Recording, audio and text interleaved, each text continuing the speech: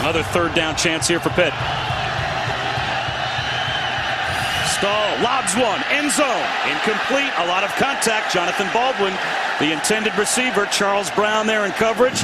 No flag comes out this time, and it'll be a medium range field goal for Pittsburgh to try and get on the board. You're right, there was a lot of contact there.